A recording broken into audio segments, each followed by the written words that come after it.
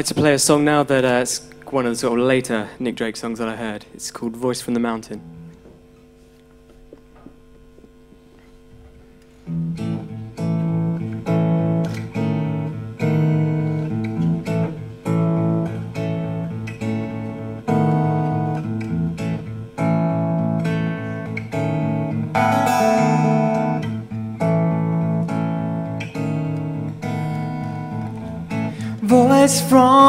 Mountain and voice from the sea.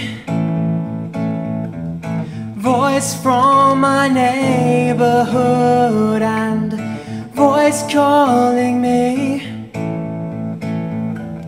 Tell me, my friend, my friend. Tell me with love. Where can from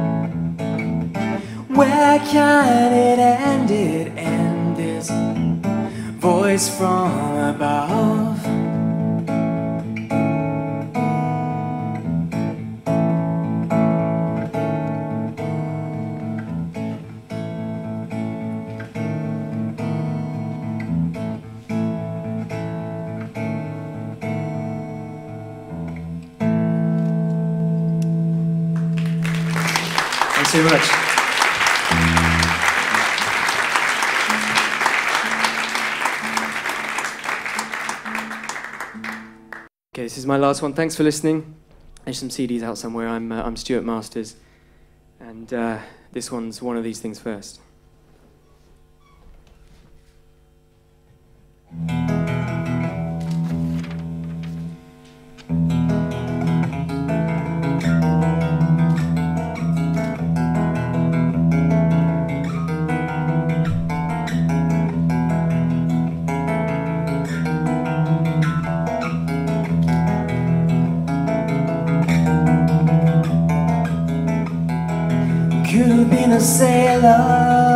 Could have been a cook.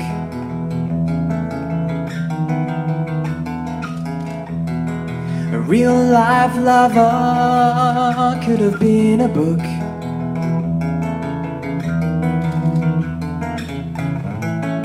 Could have been a signpost, could have been a clock. Simple as a kettle, steady as a rock.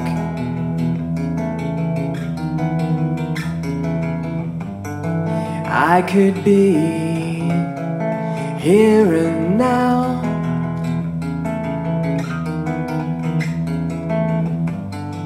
I would be, I should be, but I how?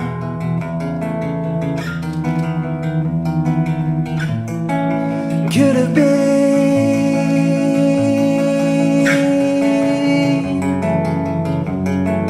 one of these things first.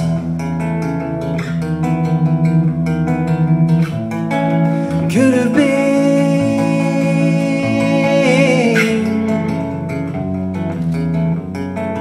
one of these things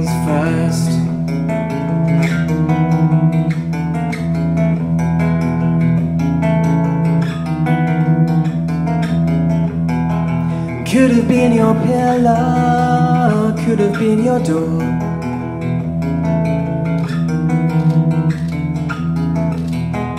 Could have stayed beside you, could have stayed for more.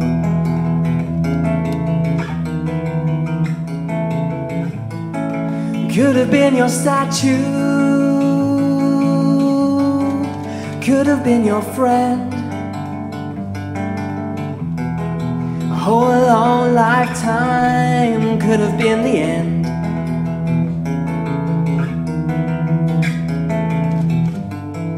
I could be oh so true.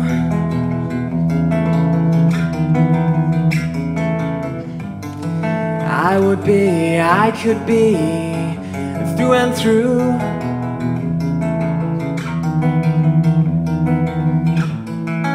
Could have been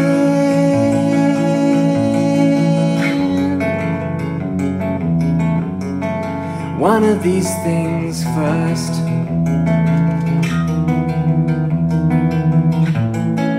Could have been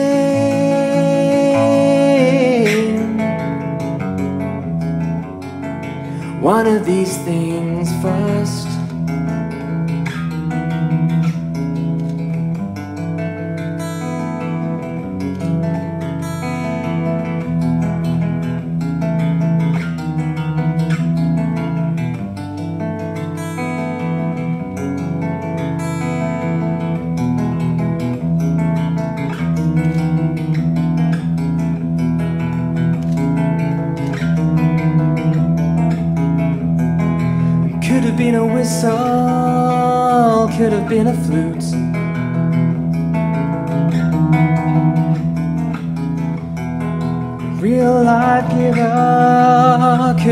Been a.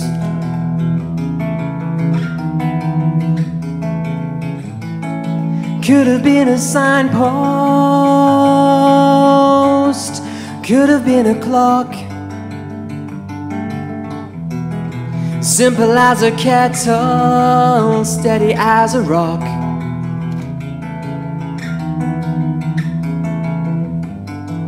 I could be even here.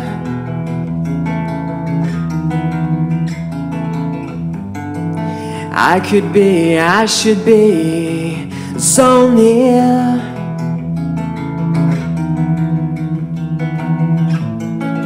Could have been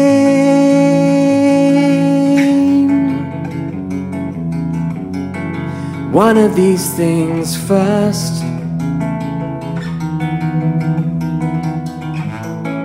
could have been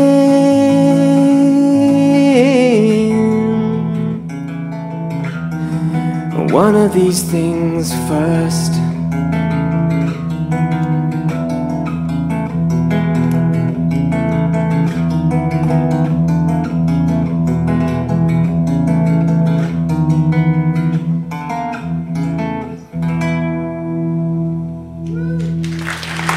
Thank you.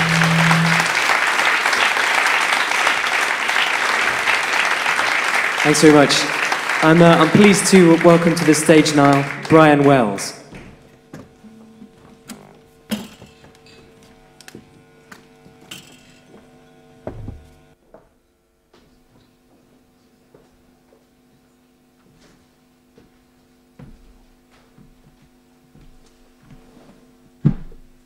Hi there, everybody. My name is Brian Wells. Um, I was a friend of Nick, and when people start to write books or make films and things about Nick, um, I tend to get a call. So if any of you have um, sort of read stuff that I've spoken about, whatever, I apologize in advance um, for dragging out stuff. But Nick and I were at Cambridge together, along with Robert Kirby, who you'll meet later on.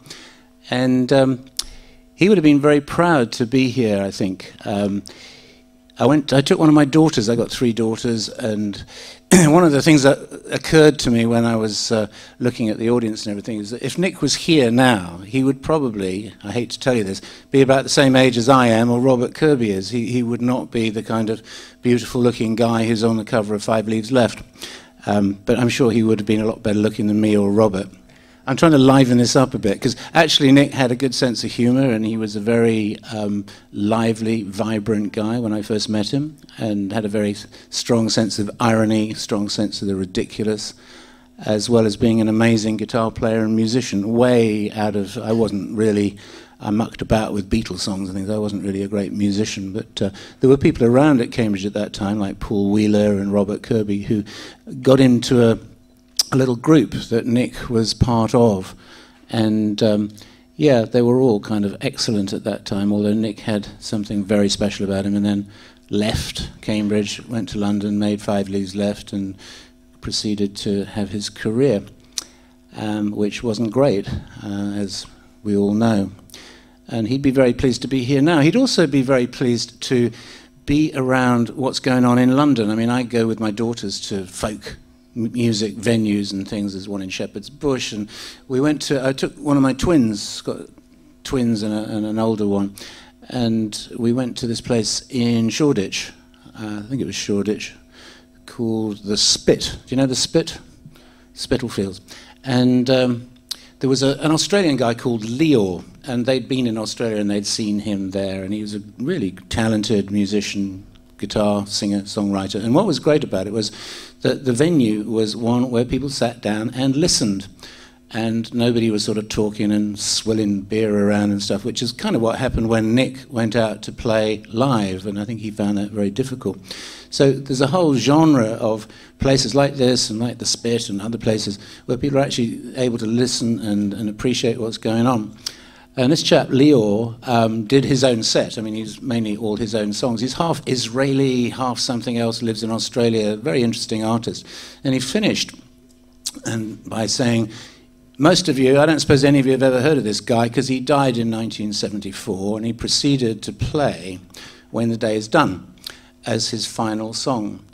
And I was standing at the back, the old guy. I'd actually had back surgery not so long beforehand. I was sort of propped up against the bar.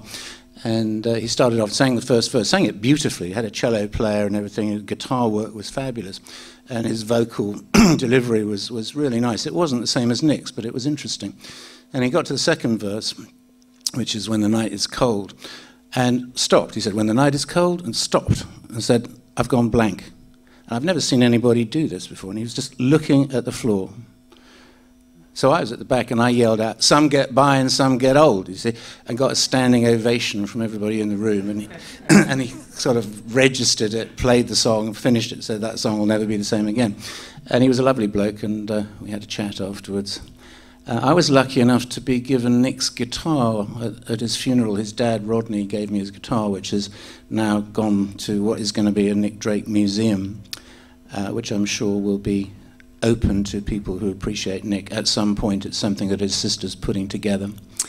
And um, this is, seems like a really interesting evening. I'm not going to babble on, but I'm going to be wandering around. There's several of us who knew Nick wandering around. Feel free to come up and chat if, if you're at all interested in doing so. Um, certainly don't want to make a career out of having been a friend of Nick Drake, but if anybody's interested in what he was like when he was sort of 18, 19, 20, feel free to come up and have a chat. Be happy to sort of try and share any memories that might still be left. So the next artist is a lovely lady from London, I think. She's promised to marry me, and her name is Helena C. Carter. Give it up for Helena.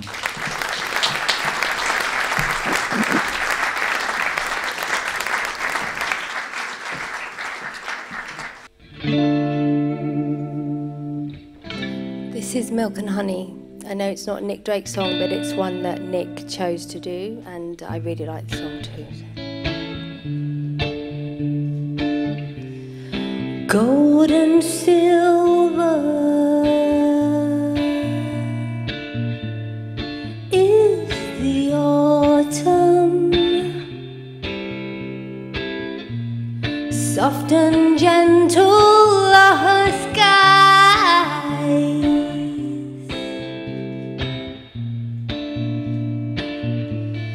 Yes and no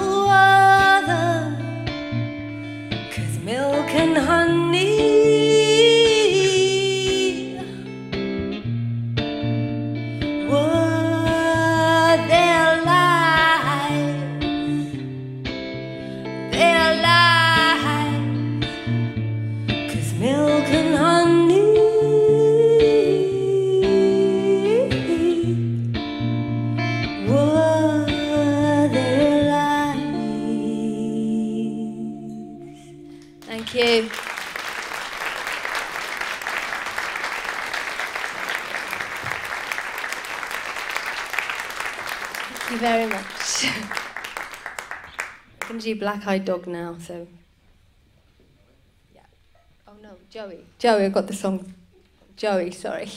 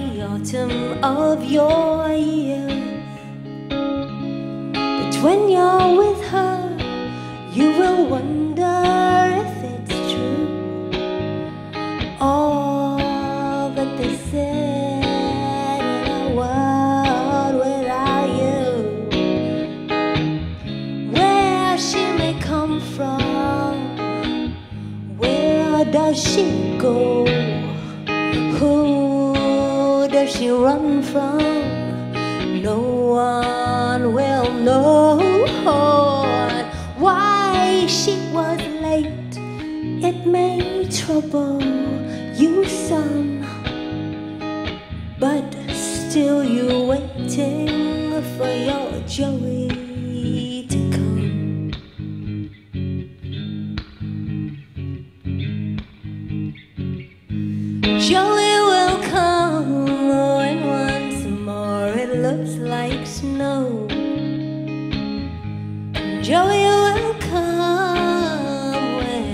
我唱。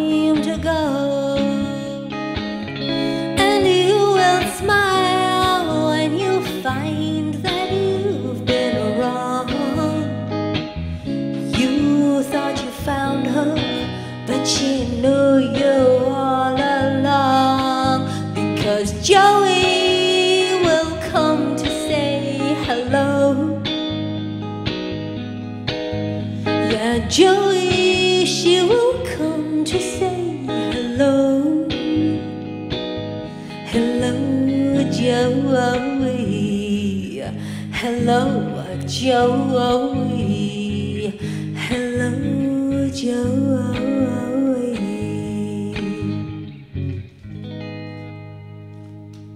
Thank you.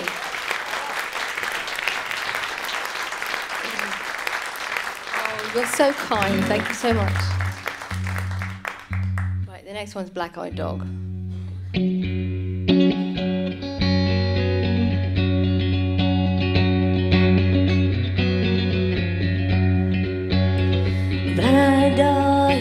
Kodamadoya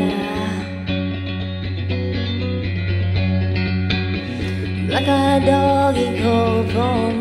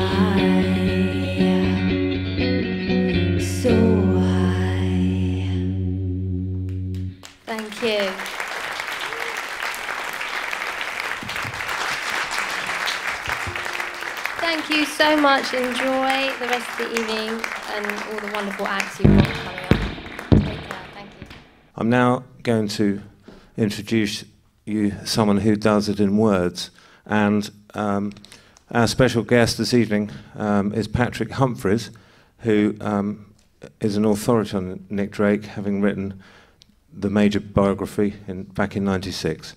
Ladies and gentlemen, Patrick Humphries.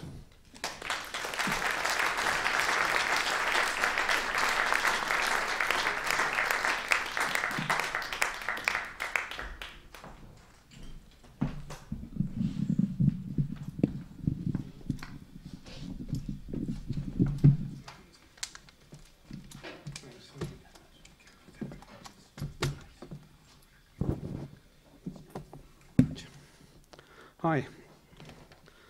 Um, I wrote the first book of, uh, about Nick Drake in 1996, uh, which is a very long time ago. Um, I just thought you might be interested to know that um, that was before the internet, basically. And um, I had to rely on old fashioned journalistic techniques of tracking people down and interviewing them and seeing if they're still alive and um, interviewing them if they were and if they weren't, um, leaving it.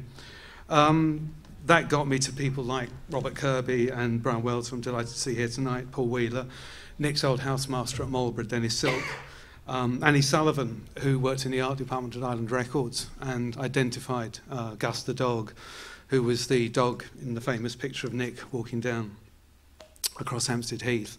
Uh, he was unfortunately unavailable for interview as well. Um, really, all that was known about Nick, it's hard to believe now sitting here you know, on a Saturday night in London in the, in the 21st century. Um, that at the time I was writing the book, there's so little known about Nick. There'd been a very wonderful essay by an American called Arthur Lubow in the Fruit Tree box set. Uh, there'd been a very good article by Nick Kent um, in NME after Nick died, and some stuff in Zigzag magazine. But he was this really this black hole. There was so little known about him. There are a thousand books on Bob Dylan. Um, there's something like a new book on the Beatles published every fortnight somewhere in the world. And when you went to look for Nick Drake, um, there really was absolutely nothing. Um, I began by old-fashioned journalistic techniques, putting um, something in his school magazine, The Marlburian, to say, well, anyone with any memories of N.R. Drake, 1962 to 66, please contact Patrick Humphries. And about a dozen people did. And the very first interview I did um, was with Jeremy Mason, who was a, a close friend of Nick's. And um, I went along really with this image of Nick Drake as this tall, uh, gloomy figure who never smiled, uh, who only ever listened to Leonard Cohen records, um, who never smiled. Who, I mean, you know, this this was the image one had of him. And Jeremy was the very first interview I did for the book, and um, he said, "Oh, well, his abiding memory of Nick was going to the Marquee to see the Spencer Davis Group in 1966." And you think, "Wow, Nick Drake at the Marquee." Um, and then, you know, a life really began emerging. And um, I was relying on information, existing information, if I didn't interview people. Um, so there was a, a description of Nick um, at Marlborough, much quoted at the time. Uh, a public school was described as a place, quote, where the sensitive experience a horrified disassociation from reality that can sometimes never fade away. And this was meant to be Nick's, Nick Drake's impressions of Marlborough, which in fact it wasn't. Uh, it was by somebody called Steve Burgess, who obviously had a far rougher time at his public school. Uh, and it was written five years after Nick died. So this is the sort of stuff I was up against. I mean, I found out at Marlborough, um, he actually really enjoyed his time there. Um, he played in bands, you know, he, he played in front of people. He was, um, he was a very good athlete. Um, he played the saxophone, you know, and gradually the stuff sort of came together. Um, Talking to people at Island Records, the theory at the time was that Nick was too good for the record industry. The record industry destroyed Nick Drake. And um, David Betteridge, who was Chris Blackwell's number two at Island at the time, said it didn't matter who was on the label, if it was Bob Marley or Roxy Music or John Martin. Uh, there were two questions when an album came out. Is there a single on it and are they gigging? That was it. In those days, that's all you did. And Nick, in his lifetime, never released a single. And as we know, only, only ever did a handful of gigs. Whereas Cat Stevens, who was his label mate at the time, uh, David said, um, travelled 250,000 miles in one year alone, gigging, just to do so. So I mean, Nick was up against that. When the book came out um, in 1997, um, you know, there was this tremendous amount of interest. And, you know, I'm, I'm genuinely touched that there is still interest in, in my book because you know, Nick is one of these extraordinarily elusive figures even now. I mean, there's Trevor Dann's book, uh, which, which, which plugged the gaps. He got to people I couldn't get to. Peter Hogan's done a very good track-by-track uh, book about, uh, about Nick's uh, career. But Nick essentially still remains a mystery, and I think you know one reason is there's there's no footage of him performing. There, there's no moving footage of Nick Drake. Um, he only ever gave one interview, and I interviewed the journalist who interviewed him, Jerry Gilbert, for Sounds. And he said, you know, I, I wish I could have said that the room filled with charisma when, when Nick came in, but he said, you know, he shuffled in, he, he stared at his feet, the, uh, his answers were monosyllabic, you know, so nothing, nothing really emerged from that. And in his entire lifetime, uh, we estimated that, that Nick had only ever sold 10,000 albums uh, in, his, in his career, in, in his th- three-year, effectively three-year career. And of course, after the Volkswagen ad aired in, in 2000, the Pink Moon ad, he sold more records in that week than he did in his entire lifetime. Um, he's now become, he's too, he's too big a, a, cult figure. I mean, Esquire magazine did a thing recently saying, enough already. And at number five, they noted new Nick Drakes. The, um, I mean, I, I look back now and I, I look at all this stuff that comes out. Um, you know, Bryter Layter, the Guardian poll in 1999 uh, said Bryter Layter was the greatest album ever made. Q magazine had Nick as the 43rd most influential musician of the century, and that was above Charlie Parker and Hank Williams. Um, a 2000 poll in the NME for the most influential artist had Nick at number nine, uh, squeezed in between Eminem and the Smiths. Um, and I, and I, I just found it extraordinary. I, found the letter the other day. Uh, I, I wrote to, when I was trying to get my uh, biography uh, commissioned. Um, I must have uh, pitched it to about half a dozen publishers, all of whom turned it down. And I actually wrote a, a, a, a synopsis and a chapter breakdown of, of, why I thought a biography of Nick Drake uh, would be of interest uh, to people. And I received a, a letter, I found it the other day from Sidgwick and Jackson, saying, um, Dear Patrick, thank you very much for your letter. Unfortunately, we have no plans at present to publish a biography of Nick Cave. they genuinely never heard of him. You know, that, that's how obscure Nick was at the time. Um, Jeremy uh, Mason, I keep in touch with. Um, he, he's of interest. I I'm, hoped he could come here tonight because he's the only person I know um, uh, who Nick actually wrote a song about. Three hours um, is actually about Jeremy Mason, his friend from Marlborough. And um, Jeremy is absolutely delighted with that because he said he puts him in a very elite category alongside Mrs. Robinson and Peggy Sue. Um, where I just briefly um, talking to, to Keith Morris, the, the photographer who died um, a couple of years ago who, who did the photos of Nick that everyone knows now, these iconic photos. Um, he said he used to receive um, half a dozen emails a week just about Nick. Um, and he said he was baffled. I mean, he said it was a day's work uh, over 30 years before, and yet it was Nick that, that people kept uh, coming back to him about. When Tow the Line was discovered in 2004, um, it actually made BBC Radio 4 Today programme, you know, new Nick Drake song discovered.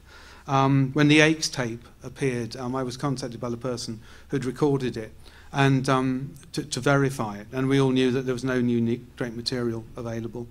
And then to sit there and hear Nick playing in uh, these songs uh, recorded in France in 1967 was, was just extraordinary because the quality was so good because it was done on a stone floor. So the acoustics were almost perfect. Um, that, that was a very odd moment. He really was coming, he was coming alive again. Um, and only uh, last week on Sounds of the 60s, Brian Matthew's wonderful um, Radio 2 programme between 8 and 10 Saturday mornings, um, they played Riverman, and Nick was described as one of the most influential songwriters of the past half century. And I think Brian's absolutely right. He would have loved being here tonight. He wasn't. Uh, he loved his music, and he loved his music being heard. He would have been absolutely delighted to have been here tonight, as indeed I am. So have a great evening. Thank you very much indeed.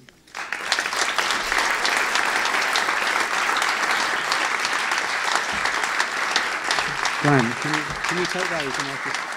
Hi. This had better be good now. Okay, I'll, uh, I'll start with Free Ride. A little more guitar in the monitor.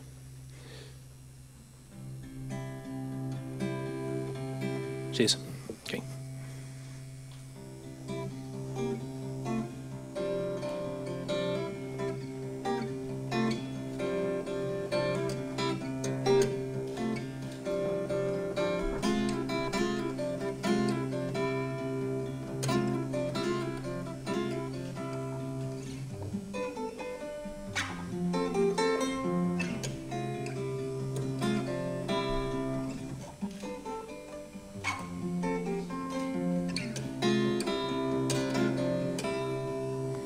Know you, not care to, not see through all of the pictures that you keep on the wall, all of the people that will come to the ball.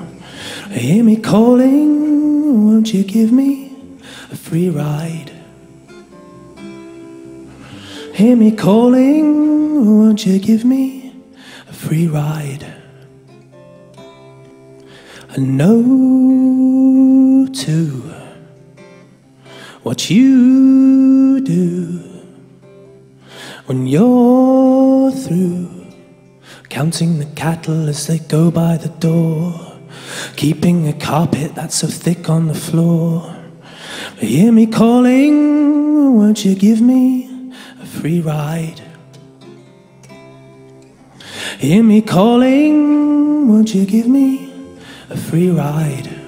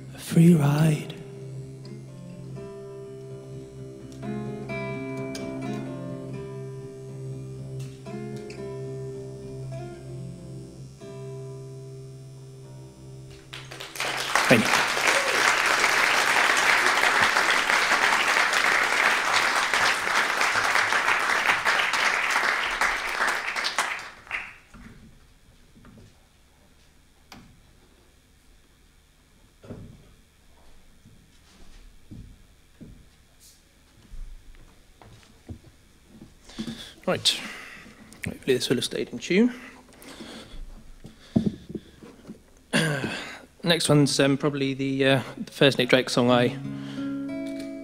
It's uh, the one that really got me into Nick Drake.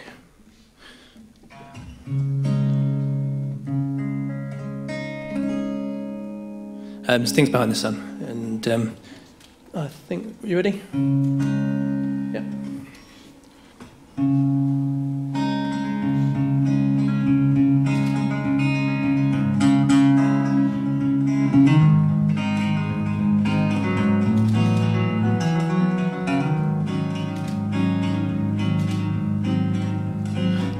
Beware of them that stare, they'll only smile to see you while your time away.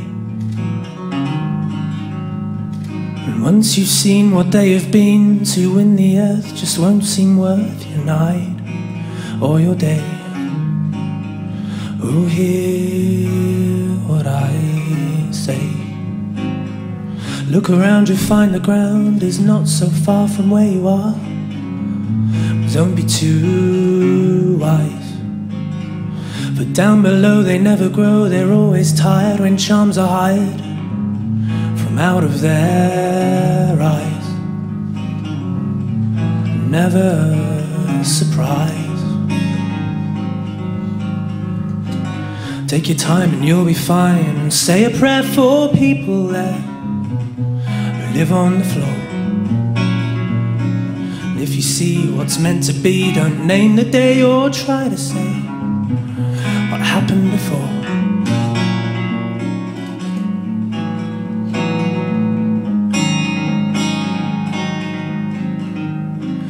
Don't be shy, you'll learn to fly and see the sun when day is done. If only you see just what you are beneath the star that came to say one rainy day autumn for free. Yes, be what you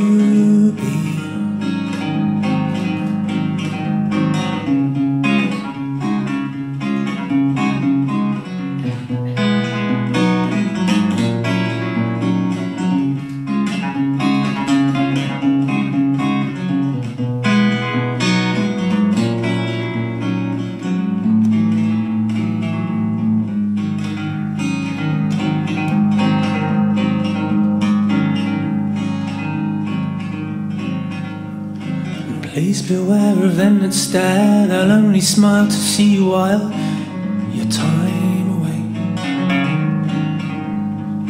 And once you've seen what they have been to in the earth, just won't seem worth your night or your day.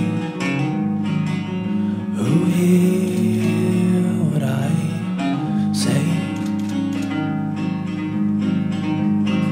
Open up the broken cup, let goodly sin and sunshine in. Open wide the hymns you hide, you'll find renown while people frown. at Things that you say. Say what you say about the farmers and the fun and the things behind the sun and the people around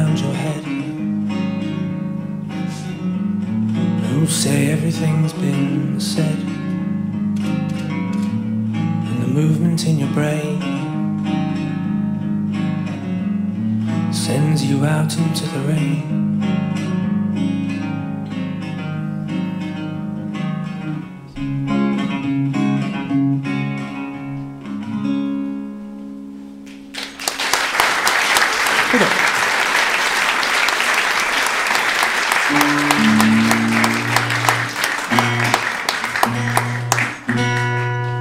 Inevitable retuning moment.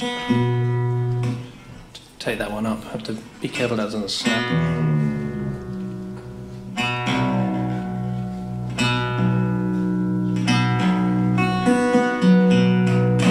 Okay, this is probably my uh, probably my favourite Nick Drake song. Um, uh, the recording has tremendous atmosphere. We'll, we'll try and recreate that now.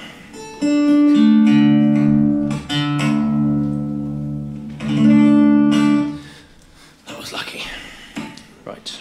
Um, this is three hours.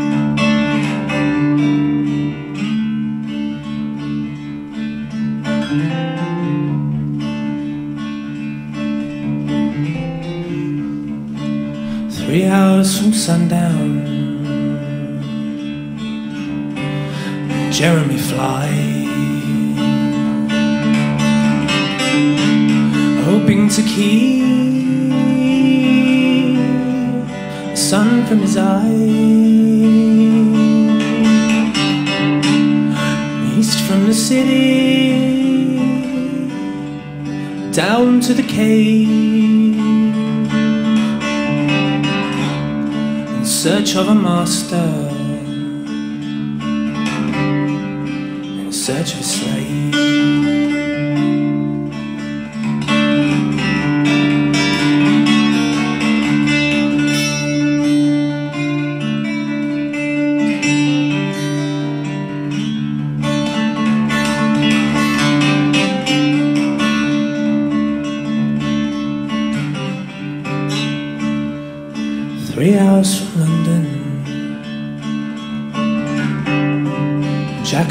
Free.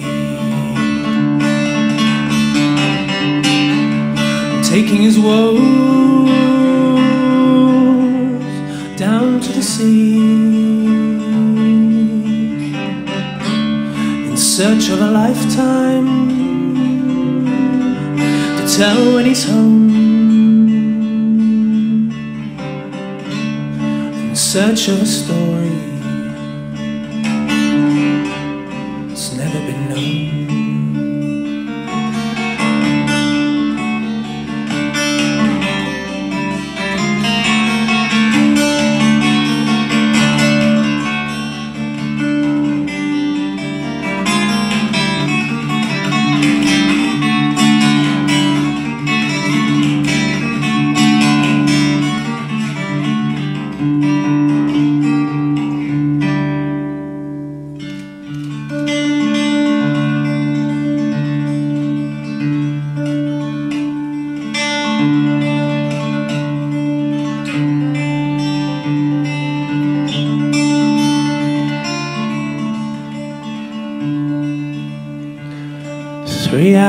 speaking.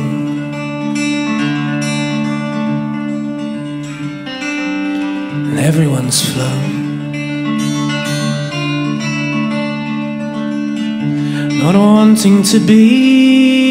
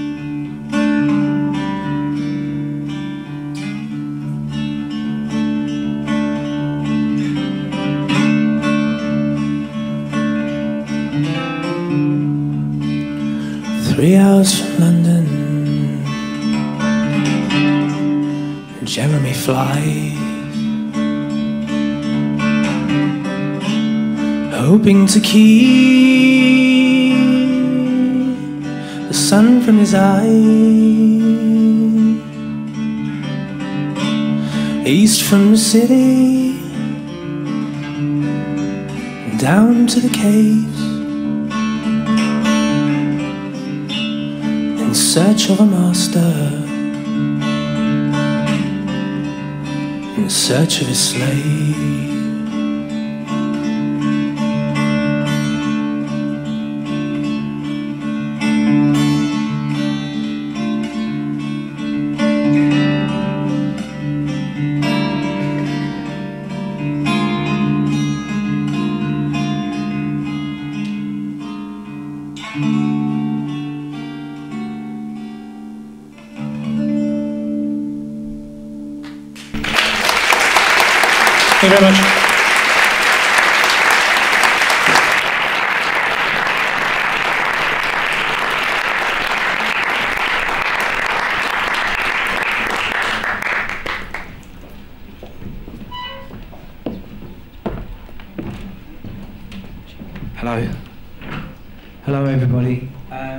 I'd just like to say I've been fascinated by some of uh, Nick's contemporaries this evening and some of the insights that they give to us. And for me personally, I didn't know before. Um, one of them was, which I feel was a kind of how Nick, it, during the performance, sometimes it could be kind of, sort of quintessential uneasiness, and I think we've kind of felt that backstage and, and here as well. And, and that's, that's a healthy thing as well, I think, especially sort of in terms of musical performance.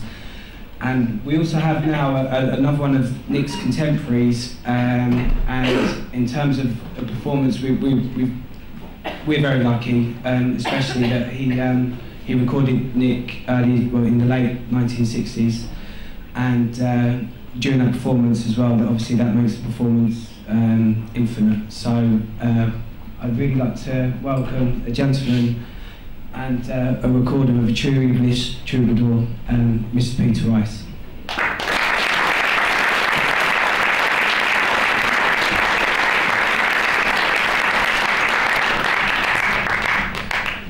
Well, good evening, everybody. Great to be here. I'd like to take you back to Cambridge in 1968. I was at Caius College along with um, Robert Kirby, who you'll hear from later. And at that time, I was very involved in tape recording, and I, I was running the Tape Recording Society for the university for a while. and I got asked to record lots of people. Um, one particular group was uh, a group of singers called um, Fab Cab, and the leader of this was Marcus Bicknell, um, who actually is a, flute player and uh, was involved with um, the performances that um, we put on, or Robert put on. Um, Robert Kirby was, was a member of Fab, FabCam. He's a, a, um, a, tenor, was a tenor there, and I've got a good recording of him singing when I'm 64, along with a, chorus of kazoos, which uh, is very interesting. Um, now, when I um, was doing these recordings, I did some work for Marcus Bicknell's mother, who ran the Cambridge Ballet Workshop, um, and she wanted some sound done. And I spent a, a week at uh, Bury St Edmunds Theatre, their Theatre Royal, doing the sound for their um, their ballet performances. Um, and having done this recording for Fab Cab, when Robert came up to me later and said that, that they were doing a putting on a concert for this um, guitarist friend of his and written some songs, would I record it? I said, yes, of course. But um, it, this may seem a bit strange, but we, we did lots of singer songwriters, lots of guitarists, and this was just another one. As it happens, he turned out to be rather special, but it wasn't a big thing to be recording another, um, another guitarist. That concert which I think Robert now refers to as a, as a, rehearsal in front of friends rather than actually a concert, but it was, it was in fact, I believe, the first airing of Robert's arrangements for, for Nick's tunes. Um, in that we, we played Time of No Reply, uh, My Love Left with the Rain, which is quite a, a rarity. It was never released on any of the, um, the official CDs. Um, Made to Love Magic. Now, um, that was Nick playing solo, and it's, it's, actually the only solo performance that exists, recording that exists of um, Nick playing that on his own. Days Done and Thoughts of Mary Jane were the, the other two. So there were the five numbers um, that I recorded. There were um, others done by Robert's band, which um, didn't survive. What, what happened was I recorded these um, on one large 10.5 re reel of tape, and I, I happened to make a copy on um, um, one of my recorders of just of Nick Drake's songs, and I still have that copy, and I, I play it from time to time. Um, after this, Nick uh, contacted me, contacted me and said, um, could I record some demos for him? Um, because he'd been asked by somebody in London to uh, produce a demo tape. And we did, we arranged to go to his college, which Fitzwilliam, um, the top of Castle Hill in Cambridge. It's a relatively new college, it was at the time.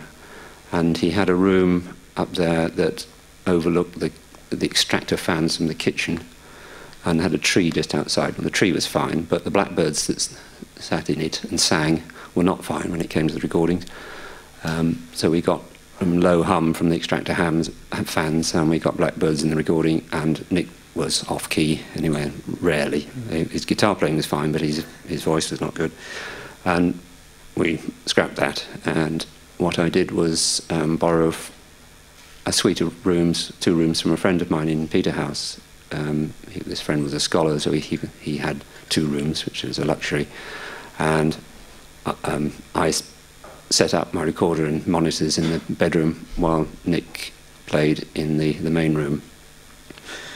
Um, we had quite a discussion about how this should be mic'd.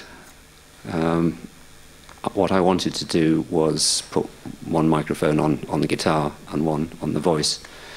And Nick was very doubtful about this. He didn't think that was, that was right. Um, so I, I said, well, you, you go and listen I'll play the guitar.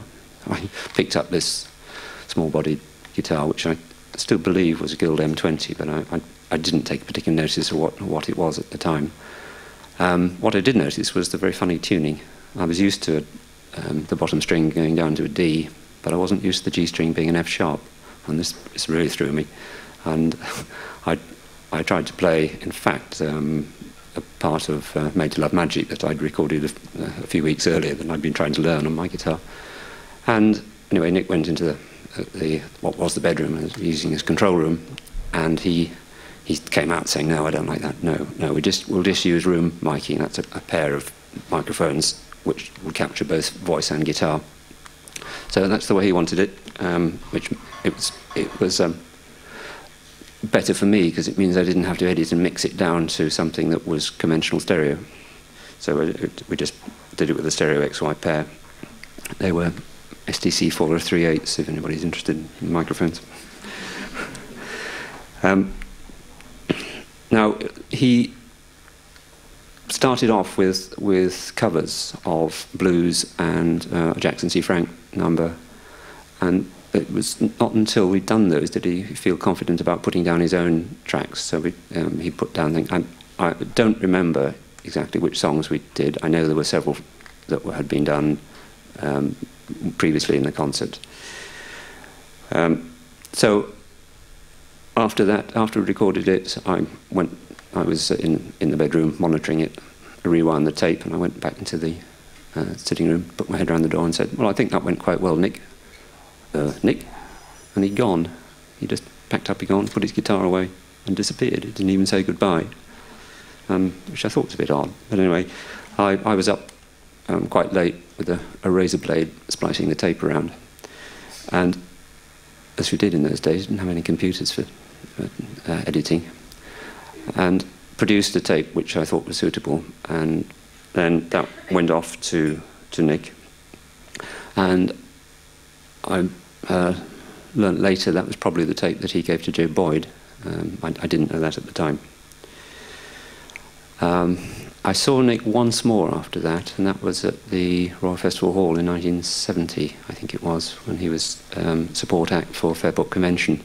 I did go backstage and have a word with him then. Um, and he, he, uh, that, that was the last time I saw him. But we can fast forward now to 2004 with the Nick Drake annual gathering at Tanworth in Arden.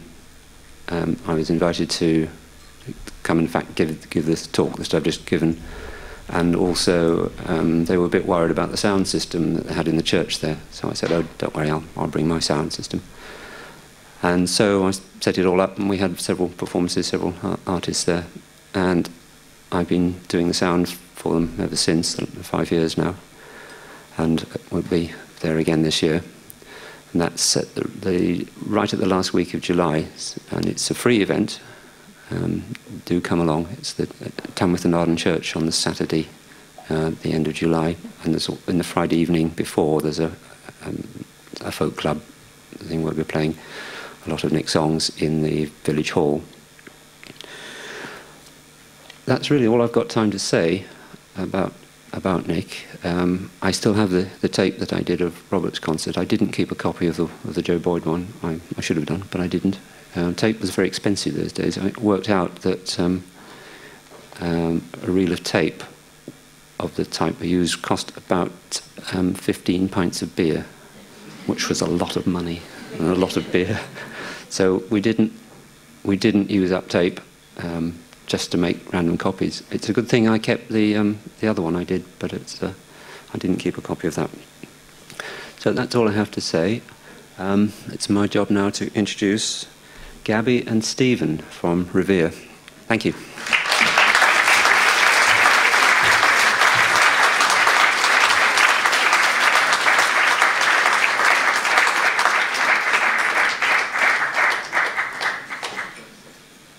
Uh, good evening. Um, so basically, in front of you, you have uh, the result of two bands, uh, various members of coming and coming together. Um, on the left of me, you have Gabby Young.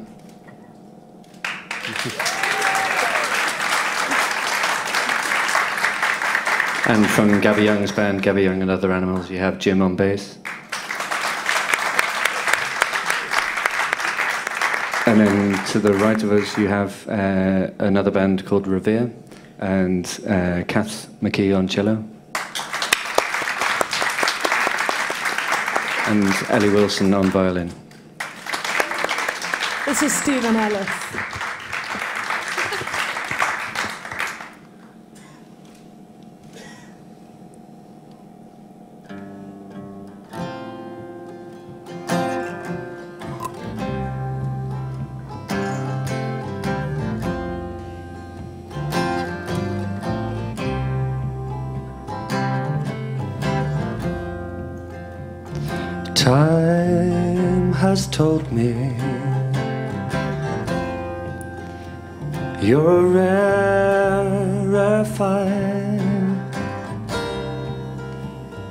Troubled cure for a troubled mind. Time has told me not to ask for more.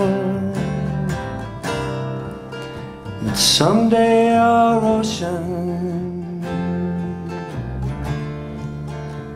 will find its shore.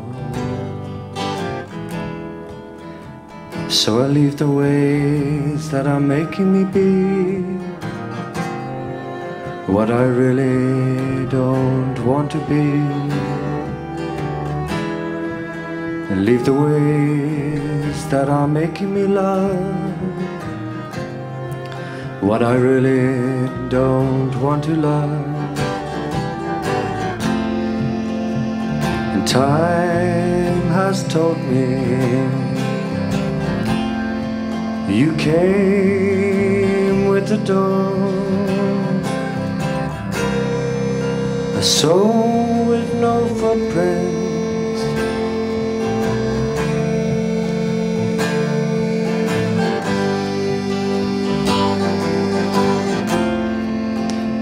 Your tears, they tell me there's really no way of ending our trouble with things you say. And time will tell you to stay by my side, keep on trying when there's no more left to hide. So leave the ways that are making you be what you really don't want to be. Leave the ways that are making me love what you really don't want to love. And time has told me you're a rare, rare find, troubled cure. for a troubled mind. Time has told me not to ask for more. For someday our ocean will find its shore.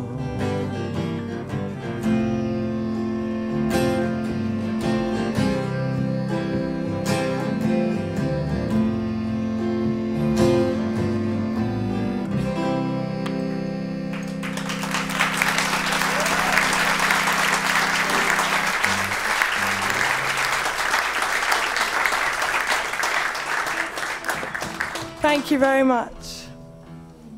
This uh, next song is a song called Place to Be, which is one of our favourite Nick Drake songs. And uh, Uh, me and Stephen have both been on tour with Al Stewart this week, so we're feeling very much connected to the folk world. And I'm also an old Marlburian like Nick Drake, so we feel really honoured to be here tonight and tributing such a great man.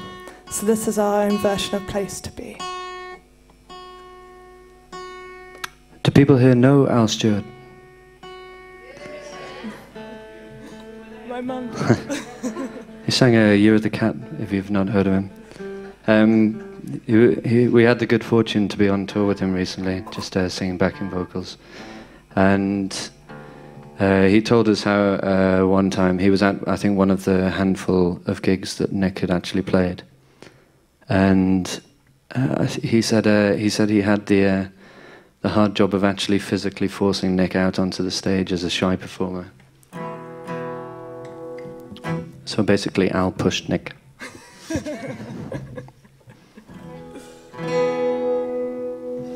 Cool. You could take my voice and guitar down on in the monitor and let's bring everything down a bit. Have you got none? Let's just bring everything out so everyone can hear the strings and stuff.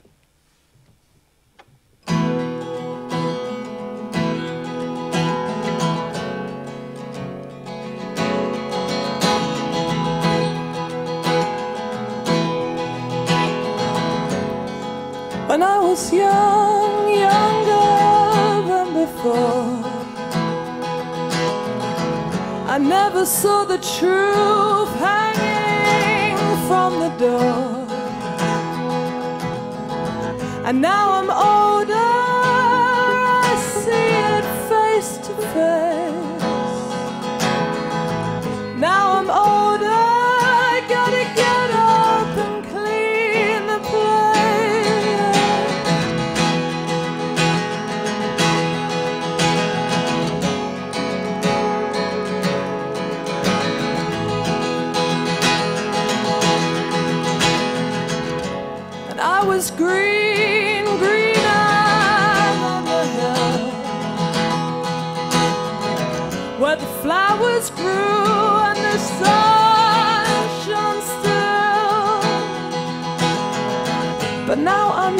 Now I'm darker.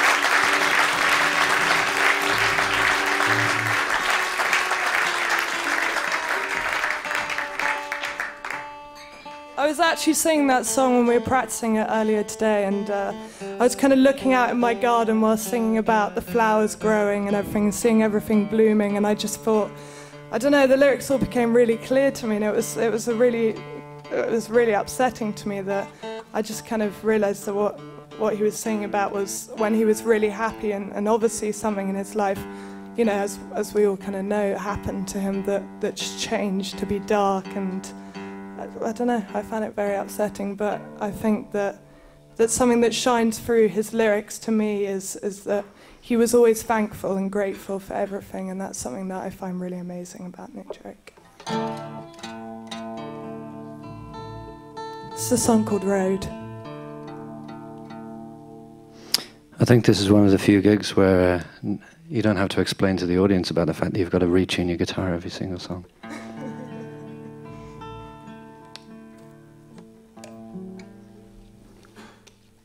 Thank you very much for listening. So we're basically uh, Revere and Gabby Young and other animals. It's been a pleasure to be involved in such uh, an event as this, and thanks very much to Jay who booked us and put us on and has been tireless in promoting this.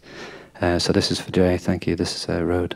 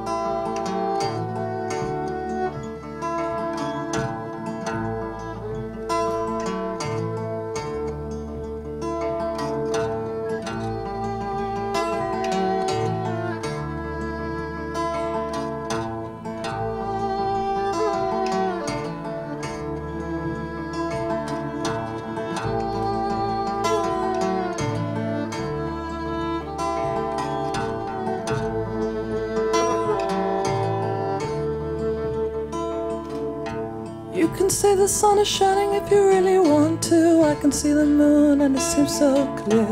You can take the road that leads you to the stars now. I can take the road that'll see me through. I can take a road that'll see me through.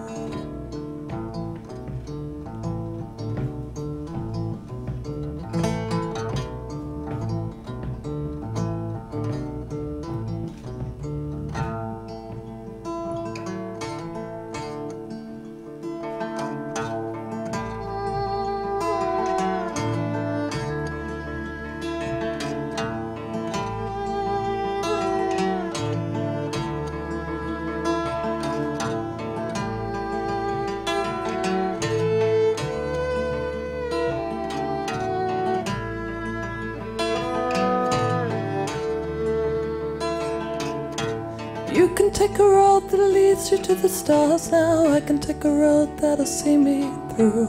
I can take a road that'll see me through. I can take a road that'll see me through.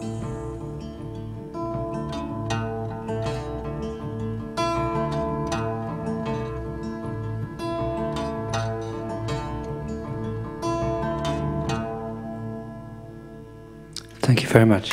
Thank you so much. Gabby Young. Stephen Ellis.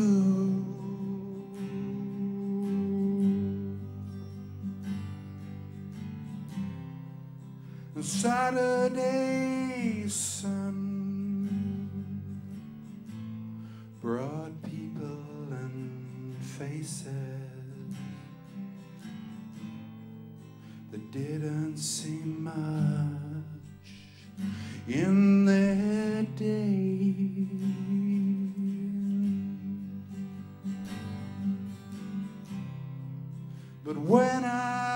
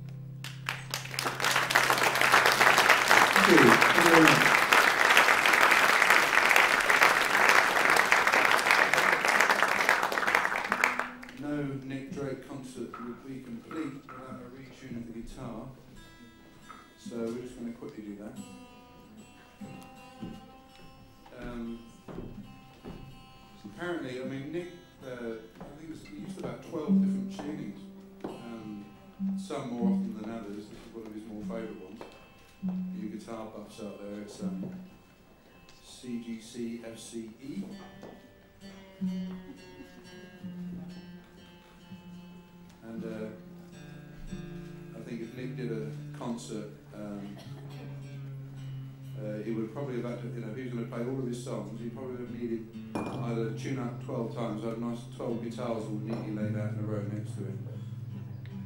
I've only got one.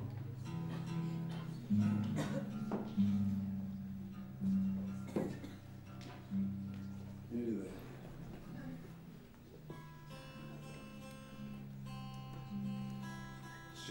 Beats me when, when we tune him. Yeah. Always wins. You're, you're, doing, you're doing pretty well though.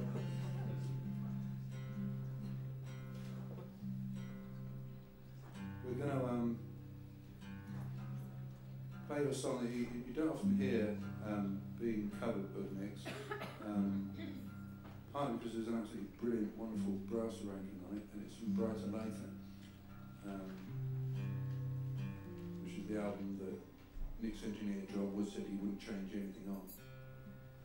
So uh, we're going to play it without any of the arrangements. Um, we found um, somebody worked out that if you get the surround sound CD, which is the Treasury compilation, you can um, sort of slip a cable out or two from the surround sound setup, and you can hear perhaps just the guitar without the orchestra and so forth. Um, we actually listened to the, this song with just the guitar and um, Nick's voice, and uh, used it as the tempo for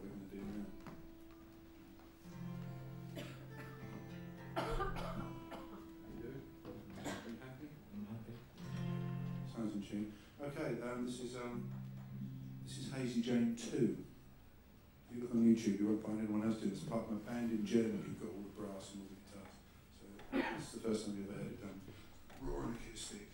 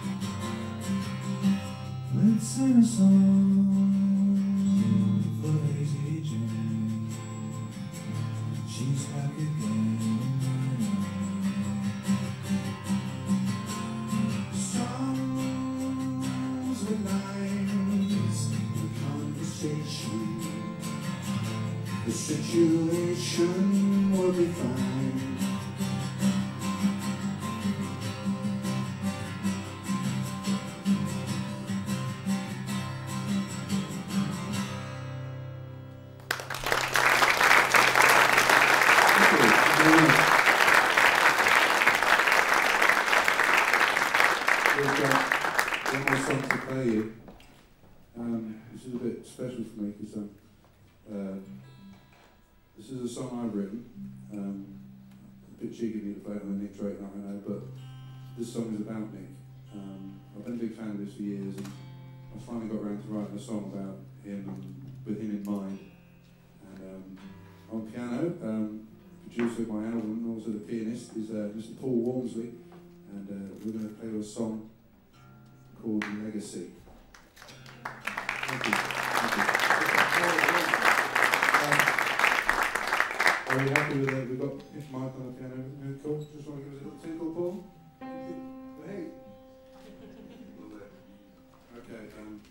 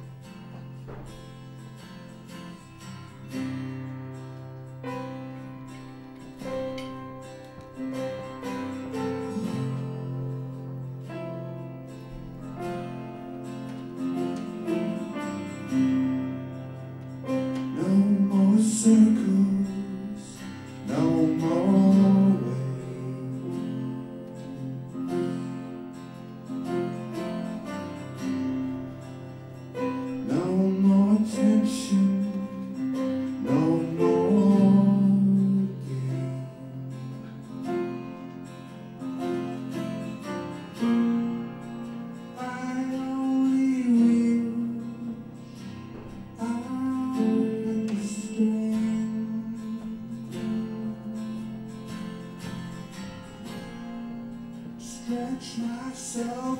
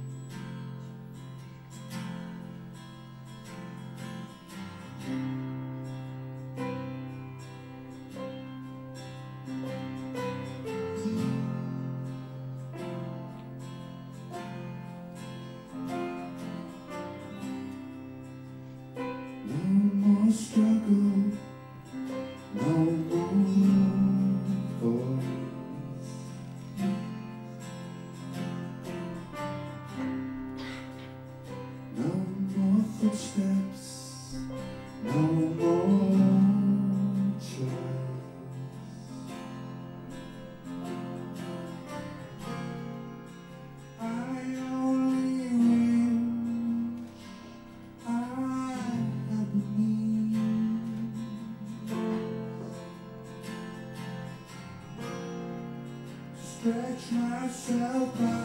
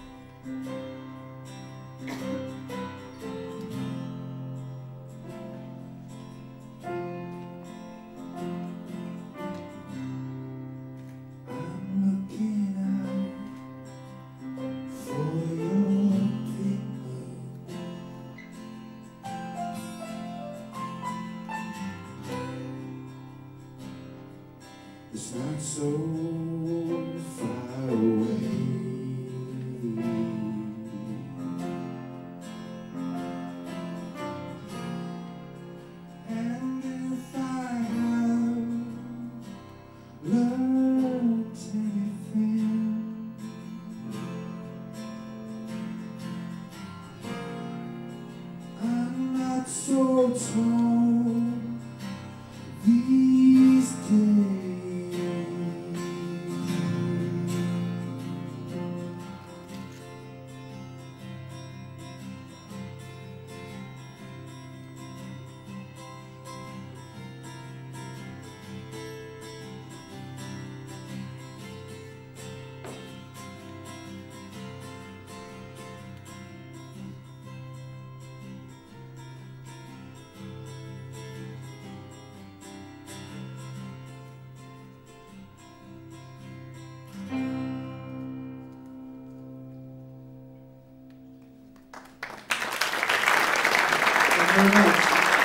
You.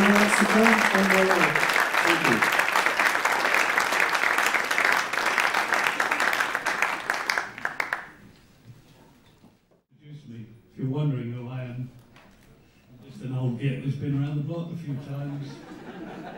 And uh, I'm one of my group who doesn't suffer from craft. You know what craft is? Can't remember a fucking thing. Um, I have this incredible ability to remember too much, which is sometimes really boring, and I've become a bit of a pedant.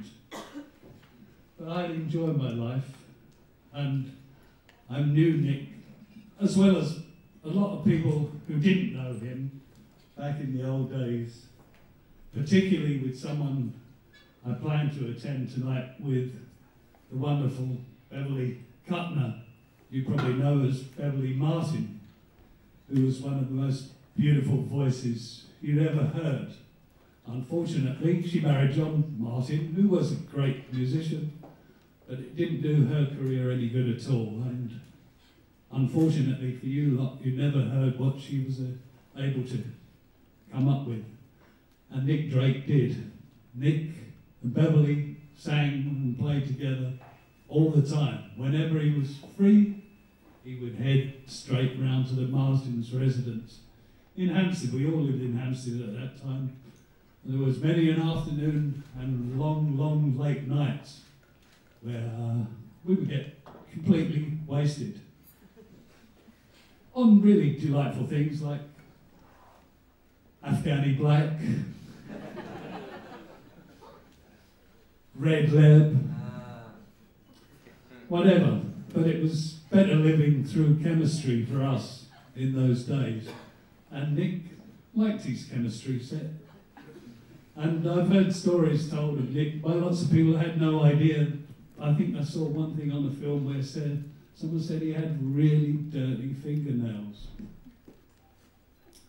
Where can you hide your dope without um, someone finding it? Under your fingernails. It was the perfect. He was terrified about being busted because many of our friends had been. And all we wanted to do those days was have a nice time. Um, Nick would be flabbergasted to learn that people are so into him today.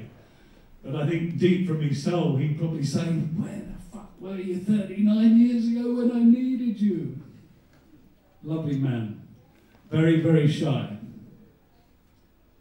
Was never as gregarious as John Martyn or other people he hung around rather complex chap, too.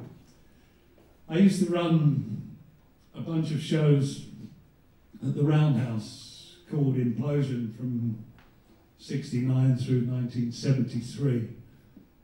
And every week, of course, I'd play Nick because I loved him.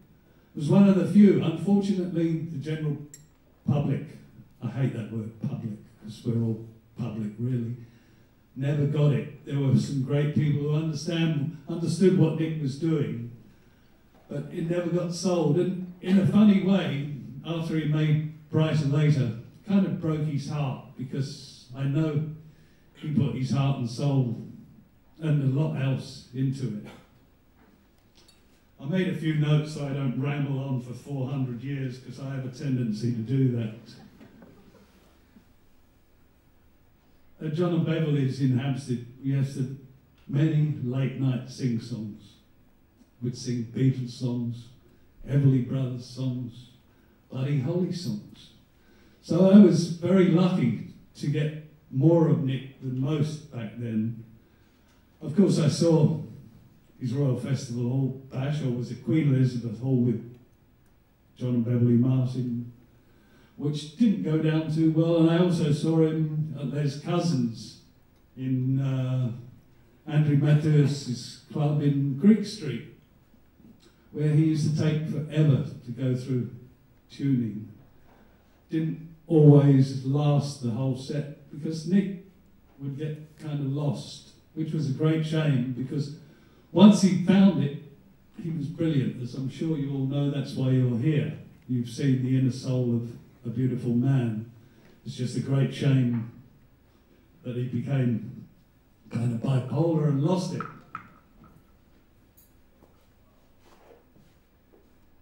Beverly Martyn, I mentioned before.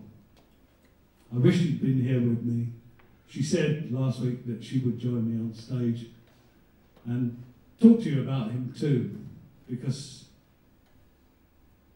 she has a lot to tell which she's never told.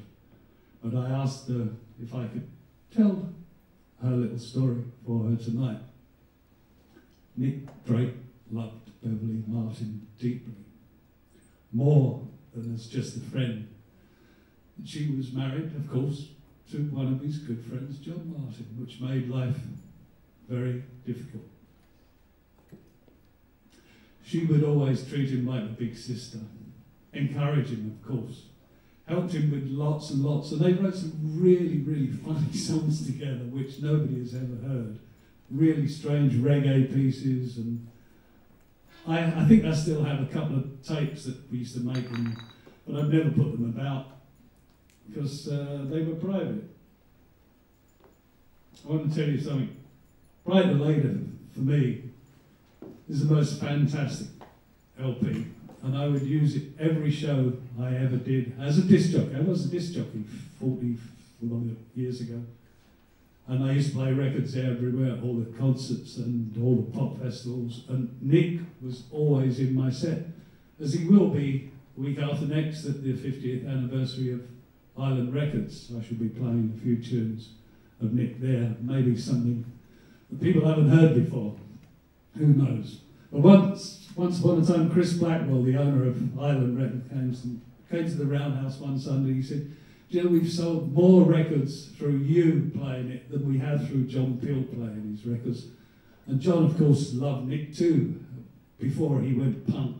But it was very odd that um, playing the records at pop concerts and festivals would actually sell a few. And uh, I, I hope I helped keep Nick alive until he lost his subsidy. And I think that really did for him. He used to hang out in Hampstead, and there were a few other people around that house scene. We lived in a wonderful house in Hampstead Way. We moved into in 19, end of 1969, and all kinds of people would drop by, particularly John and Beverly, and sometimes they'd bring Nick. Otherwise, he'd slink in the garden and hide if other people like Cat Stevens was there. And of course, he, everyone wanted to hear Nick, but he would was often too shy unless he got really comfy with someone like Beverly, and then you'd hear the best of him. And it was like all the best music you hear at home. Soon as you start to project it, I think some of it gets lost. That's why all those old blues records from the 20s, 30s, and 40s still sound so wonderful today, even if they were recorded on dodgy technology. Cat Stevens, I've got to introduce him in three weeks' time, as I said at the last but one night of the Island Records 50th anniversary. I'll share a joke with you because everyone's warned me not to do it at the gig. I was going to introduce him with his new reworked Island album, TNT for the Taliban. All right, then I won't use it. I thought it was great. Um, You know, Bryter Layter has a lot of dedications to the first solo Neil Young record, don't you? Or do you not? Is this on the blogs? I've been reading a couple of blogs recently, but I didn't find it. Does anyone know that? No? Well, it's perfectly true because Ian Joe Boyd adored that record. Opens with an instrumental, closes with an instrumental, just like Neil Young's first record did. Now I'm going to break a myth or two tonight. I've probably already broken too many and people are going to hate me afterwards, but I did love him, honestly, honestly, truly. I've got some something with me.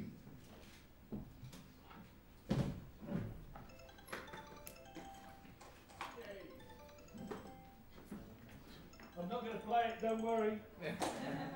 I might play the spoons though. Where's the photographers? Where's the guitarist? You can see I'm not a regular guitar. player. Can you? Anyone know what that is?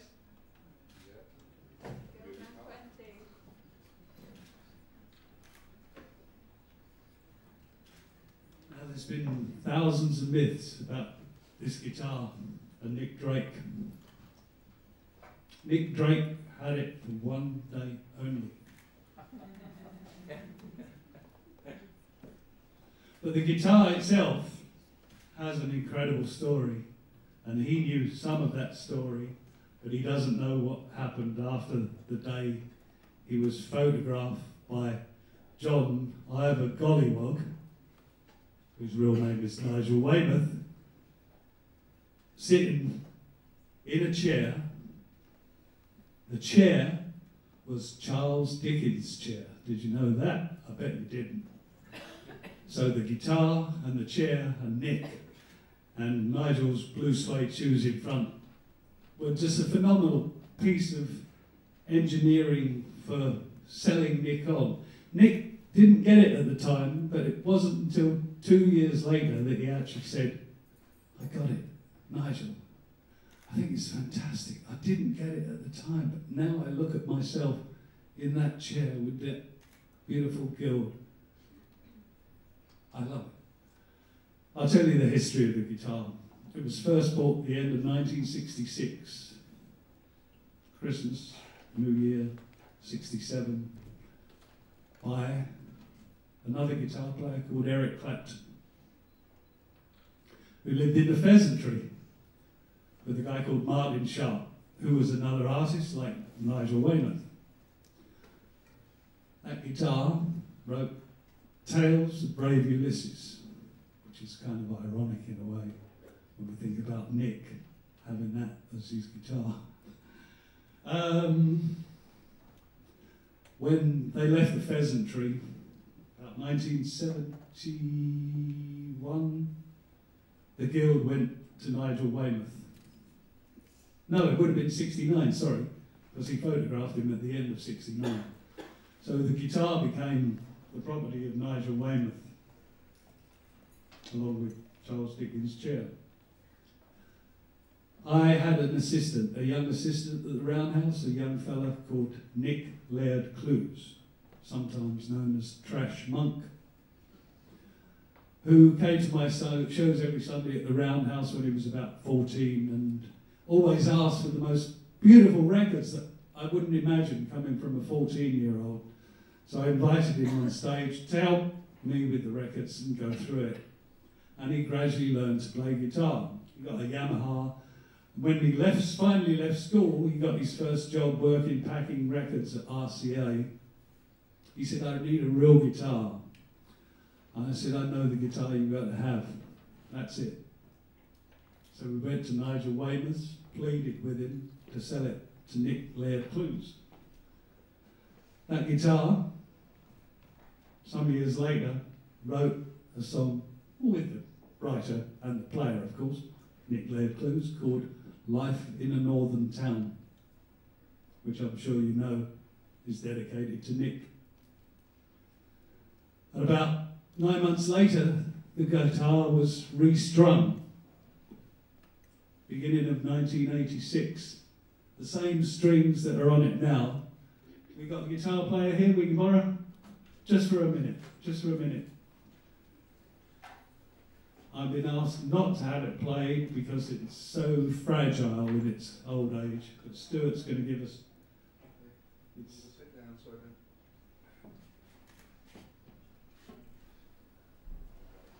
Oh my God. It's a very fragile old baby, but the strings on it.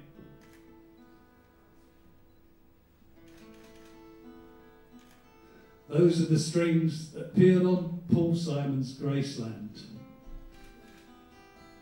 They are very, very unusually tuned. They're played to fit in with African musicians.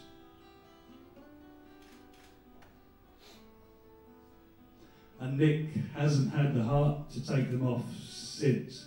Because Paul Simon took Nick Laird-Clowes under his wing to help him create beautiful songs, which he did between 1984 and 1987. So that's the story of the Guild MD20. I hope I haven't shattered guitarists' dreams who have been searching everywhere for it. But the guitar has its own little history and it's quite magic. Incredibly more magic is there's only three degrees left of separation since the recession. The guitar, Paul Simon, Nick Laird-Clowes, Nick Drake. When Paul Simon and Art Garfunkel appeared at Monterey Pop Festival, they took a beautiful woman with them who came up with a beautiful lines. Have you had a busy day, Mr. Leach? And that was Beverly Kutner, later Beverly Martyn, who flew to Monterey on a special ticket bought by Paul Simon under the name of Mrs. Beverly Simon so he could save money.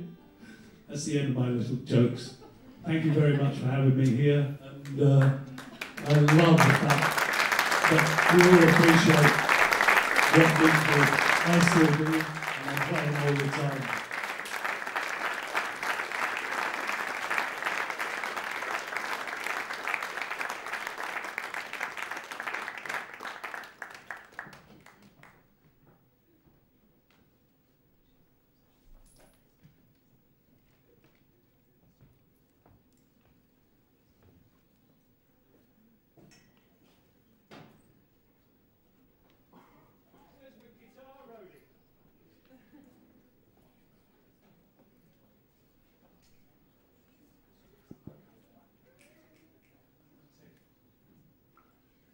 Uh, I have to thank, of course, Nick Laird Clues Trash Monk for allowing me to take it from his fault.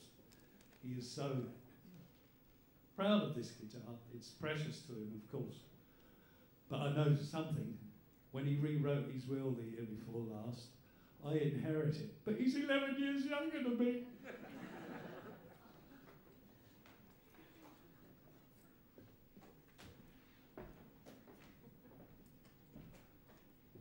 Thanks very much, Jeff. Well done.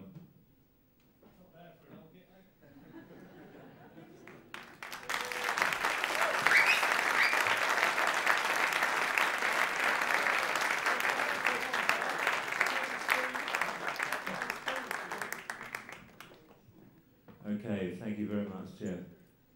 Okay, I'm going to introduce the next band to you now. Um, band called My Luminaires.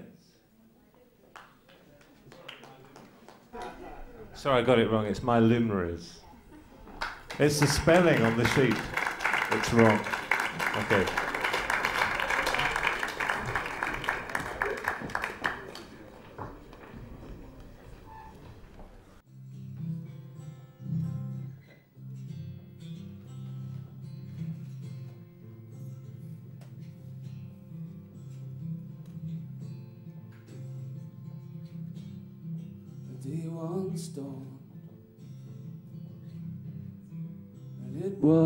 Beautiful. A day once dawned from the ground.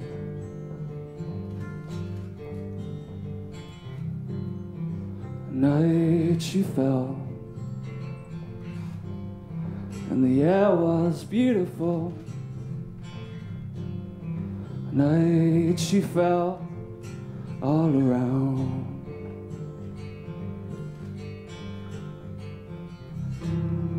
So look, see the days,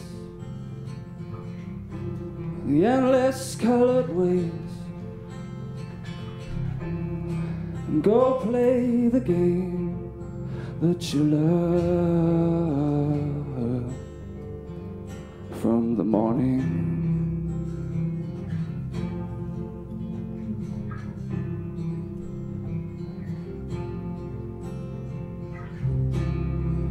Now we rise,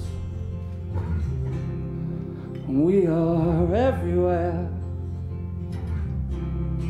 Now we rise from the ground.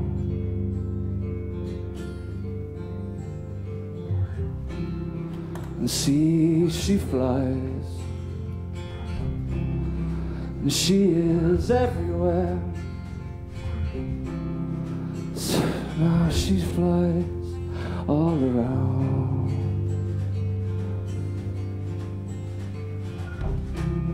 So look, see the sights, the endless summer nights,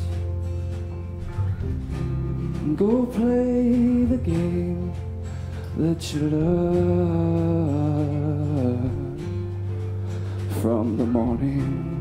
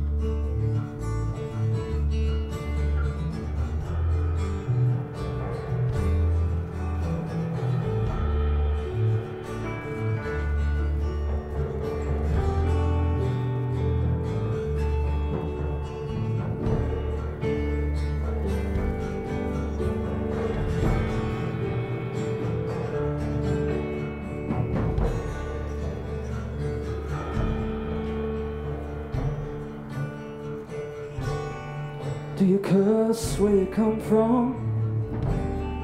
Do you swear in the night?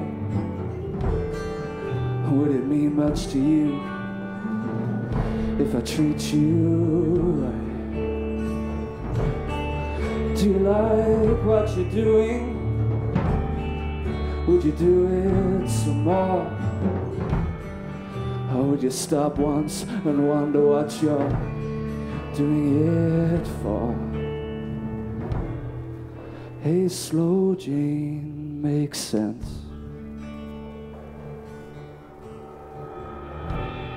Slow, slow Jane, cross the fence.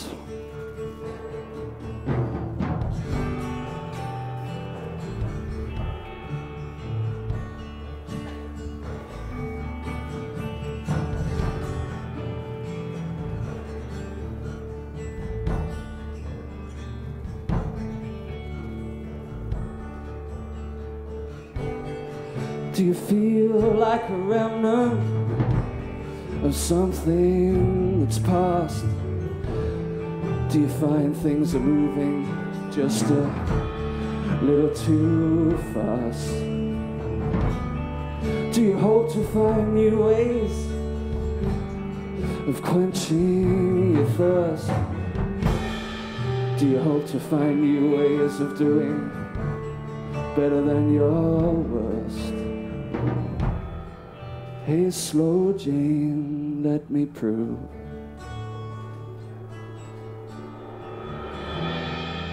Slow, slow, Jane, we're on the move. Do it for you.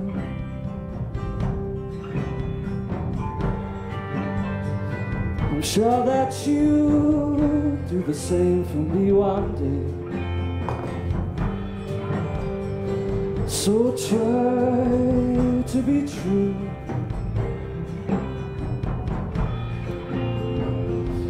If it's only in your hazy way.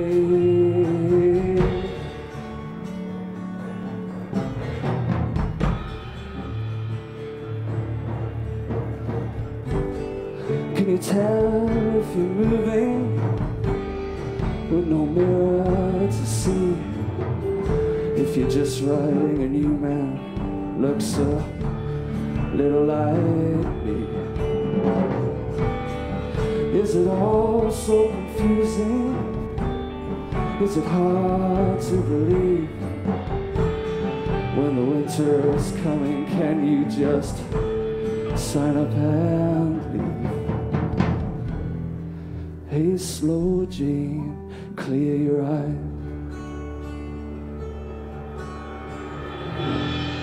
Slow, slow Jane, fly on by.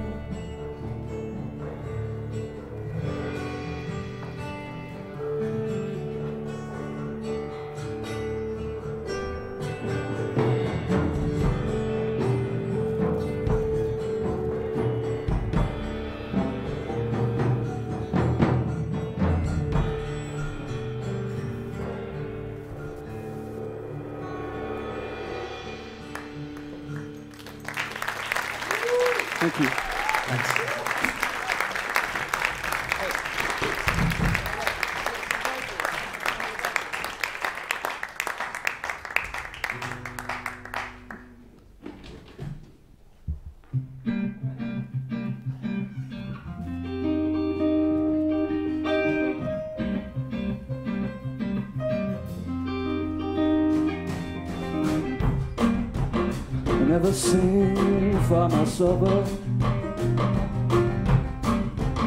Never help my neighbor. Never do what is proper. For my fair share of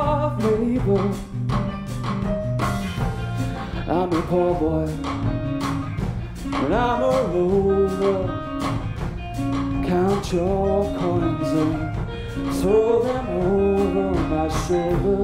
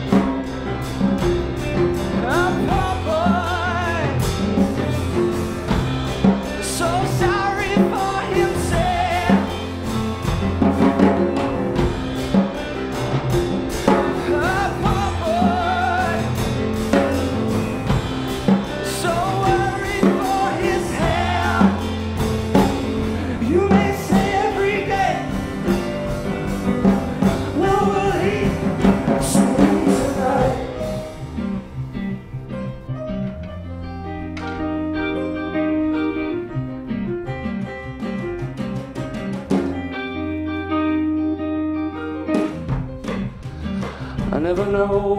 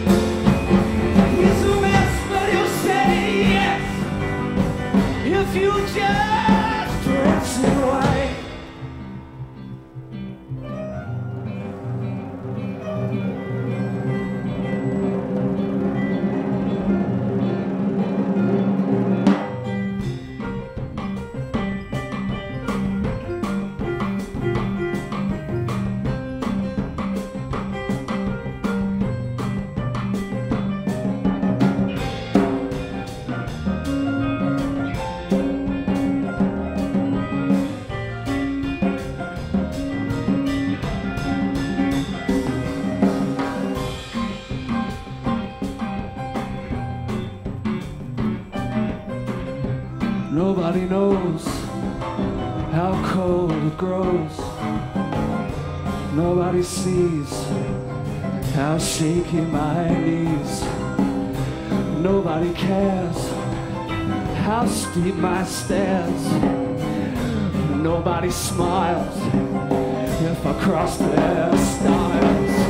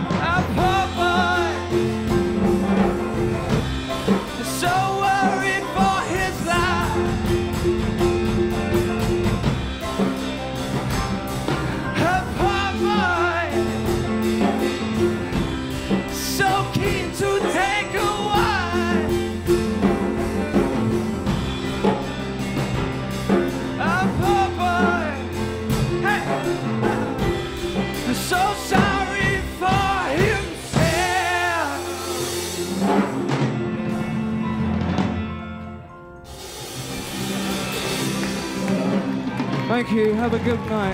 Thank you very much. Thank you.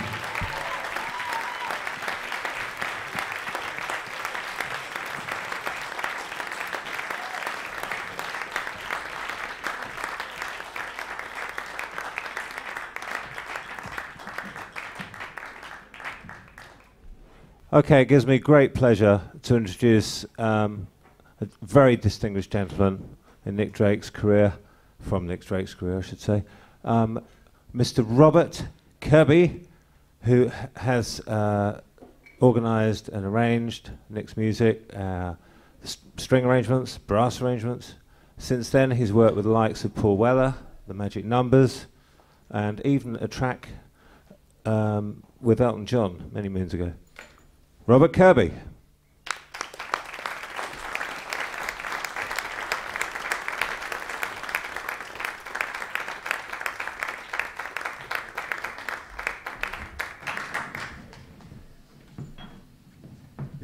Usually fall over, so I go slowly. Oh. Uh, yes, good evening, one, one and all, ladies and gentlemen. Fantastic to see you all, and I'm really pleased to be here. Um, a few people have been saying to me, Do I find it astounding to see so many young people getting into Nick's music? Or am I surprised by uh, the, the interest in Nick's music? And um, well, because I'm a polite sort of guy, I usually say yes. But thinking about it deeply, I'm not astounded or surprised. It was always written in the stars because everyone who came into contact with Nick or his music at the time knew it was something different, something completely different on another level. Um, I have always thought that, and I still think it. So I'm not in the least bit surprised that people are finding his music now and finding it to be absolutely, well, incomparable. Uh, There's not really anything about Nick's music that you can compare to other people's, I find. He's very unique and also very timeless, is the one thing about it. Uh, I was saying to somebody earlier that if you, somebody would come over from, say, the States who's never heard of Nick, and you play them Five Leaves Left or Bryter Layter or Pink Moon, you could actually say that this was done last year. Don't let them read the sleeve notes, because then they'll realise half the musicians are playing harps up above now. But um, it was uh, i it's timeless. You could, whereas a lot of the music that I mean, even Nick got me to listen to at the time. Um, if you listen to it now, brilliant as it is.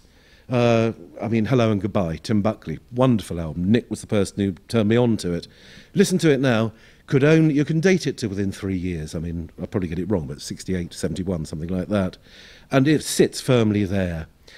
Um, Pet Sounds, when it was actually Pet Sounds that Nick, I mean, I did know it anyway, but the instrumentals on Bryter Layter uh, mainly came from, I think there's two or three instrumentals throughout Pet Sounds for the Beach Boys.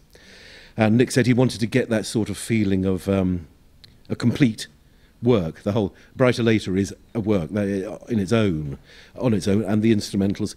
Joe Boyd, the producer, was always going on to Nick saying, When are you going to give us the lyrics? Nick, when are you going to give us the lyrics? And, and Nick said, I'm not giving any lyrics, they're instrumentals. And uh, I don't know what made me talk about that, but uh, sorry, lost the thread. But um, yes, from Pet Sounds. But now, if you listen to Pet Sounds and Brian Wilson, one of my heroes in the Beach Boys, it's 60s. You know, it, is 60s. So I, I can't explain why Nick's music does have this timeless quality about it. Um, furthermore, we're here gathered in NW8.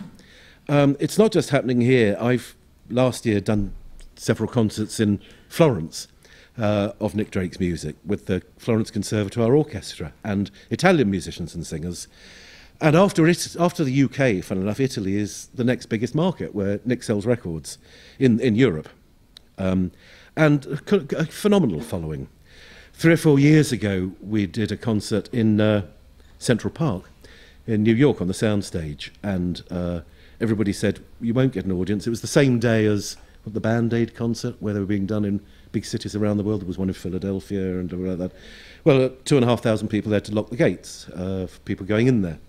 Um, this is happening all, all over the world. I work quite a bit in uh, Sweden and the Netherlands, and uh, they, everybody uh, knows about Nick.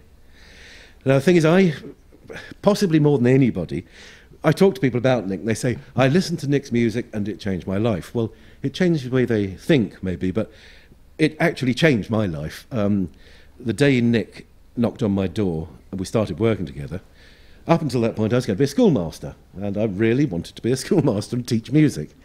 But uh, from that day, um, I've been an arranger in pop and folk, so Nick had an unbelievable effect on me. And the other thing I was just mentioning about the astoundingness or surprisingness, Nick, more than anybody, knew how good he was. Okay, after Bryter Layter, during Pink Moon, when he started getting his the black clouds set in, um, I still don't think he doubted his talent, but it was so frustrating for him that he couldn't identify what it was why people wouldn't appreciate his music. It wasn't just because he didn't go on the road, that would have helped enormously, but lots of people. Uh, Leonard Cohen's first album, I don't think he had been on the road at all, and it was colossal. Um, plenty of people have success that way. But uh, Nick knew how good his stuff was, possibly more than anybody else. When you saw him play, you could tell that when he sat and played, there was just a poise and a confidence and a beauty about it that uh, I'll never, ever forget. Now, that leads me on that I'm now going to introduce uh, Jack Savoretti, who is uh, being accompanied by Nikolai on guitar. And again, uh, Nikolai is Danish. Jack has worked in, is from the States, he's uh, worked in Europe, he's worked in Britain, he's lived in Switzerland for a long time. Uh, he has a new album coming out in June or July on De Angelis uh, Records. Well, I call them records. Do you still call them that? Or do you call them? I don't call them a vinyl anymore. I've stopped that. or long playing records. But um, uh, he's got a record coming out, which I hope everyone will support. But there again, he's been recording his new album in the UK and in California. Uh, the, Nick is, is truly global, international, and will continue to be so, particularly with the support of fantastic lovers of music such as all of yourselves. So, can I please introduce Mr. Jack Savoretti with Nicola?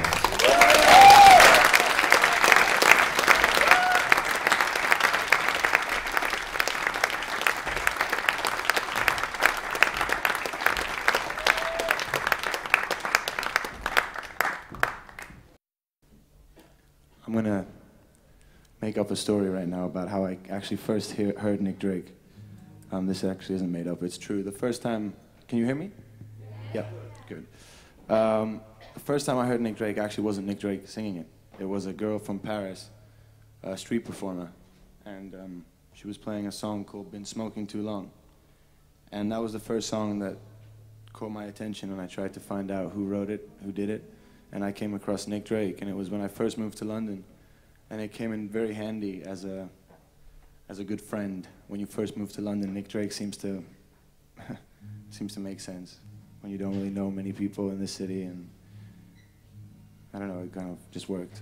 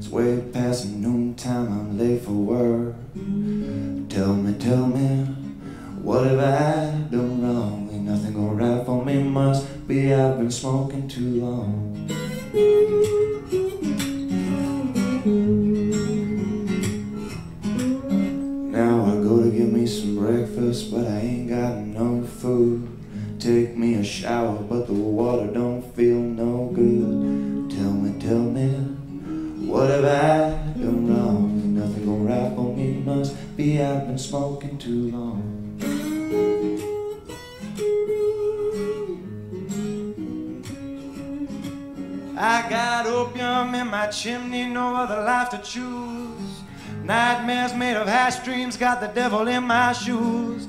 Tell me, tell me, what have I done wrong? Ain't nothing gonna right for me, must be I've been smoking too long.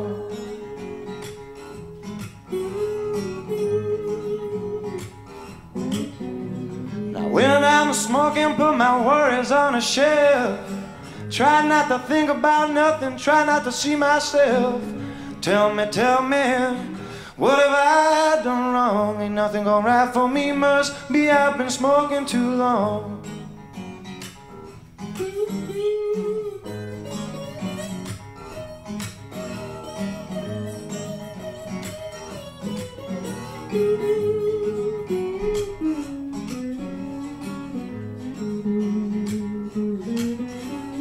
This blues I'm singing, there's a lesson to be learned. Don't go around smoking unless you wanna get burned. Tell me, tell me, what have I done wrong? Ain't nothing gonna right for me, must be I've been smoking too long. Ain't nothing gonna right for me, must be I've been smoking too long. Everything gone wrong for me, must be I've been smoking too long. Too long, too long, too long. Thank you.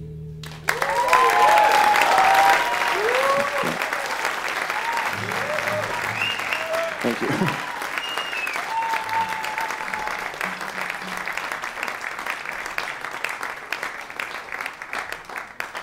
Thank you very much.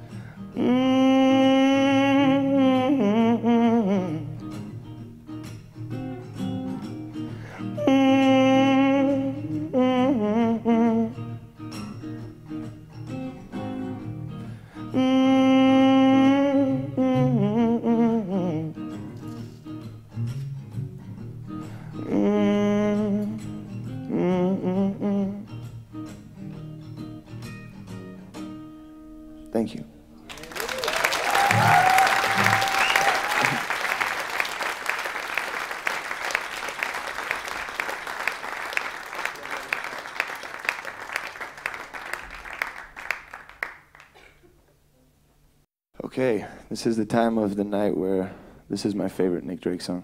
Um, it wasn't originally, but um, a couple months back it seemed to make perfect sense, and um, that's when songs become your favorite songs. Um, so it was actually with Nikolai that we were in the studio and decided to record this. And I never thought I'd ever have the guts to go into a studio and do a Nick Drake song. And um, but we did it, and um, and it seemed to work out really nicely. Seemed to just be very fun playing it, which I think is always a good sign. And um, yeah, so we put it on the new record. And uh, this is Northern Sky.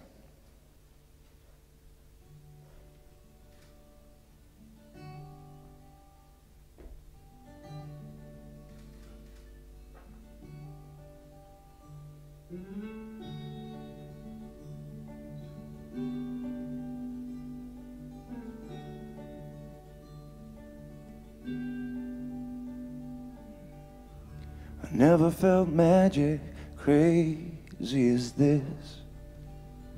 I never saw moons, knew the meaning of the sea. I never held emotion in the palm of my hand or felt sweet breezes in the top of a tree.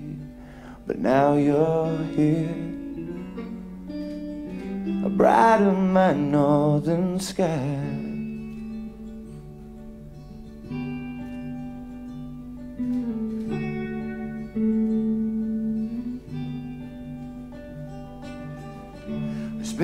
Long time that I'm waiting. It's been a long time that I'm alone. It's been a long time that I've wandered through the people I have known. Oh, if you would and you could straighten my new mind's eye. For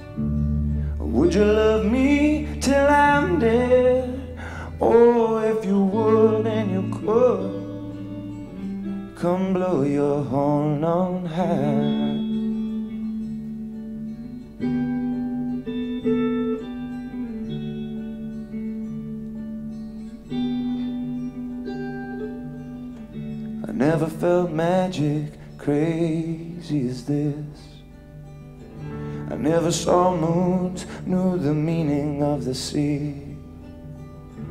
I never held emotion in the palm of my hand. I felt sweet breezes in the top of a tree.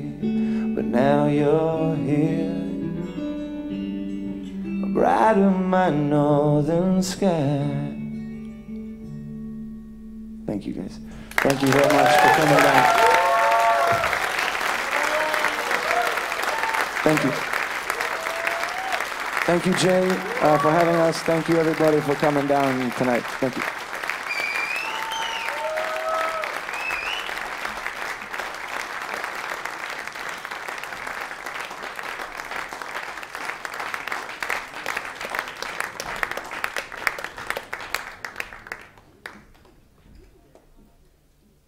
Thank you, Jack Savoretti. Let's hear it.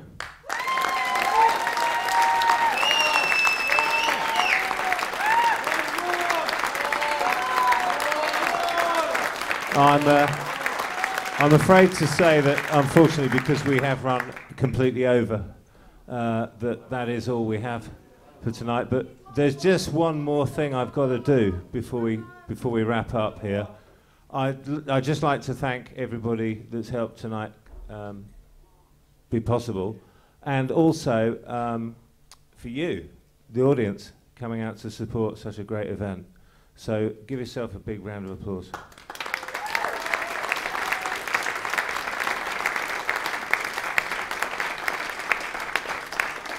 And lastly, but by no means least, um, I'd like to bring the man behind tonight's uh, wonderful celebration of Nick Drake's music, Mr. Jay Dubber, to the stage. Let's go. Jay Dubber.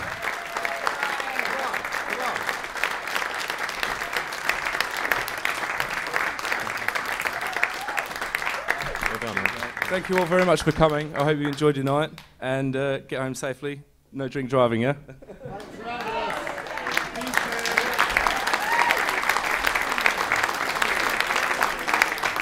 Thanks very much, and thank you for all our special guests coming and giving us some wonderful speeches. Safe journey home. Good night.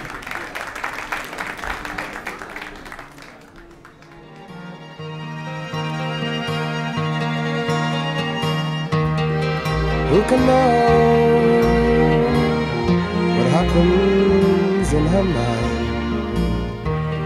Did she come from a strange world?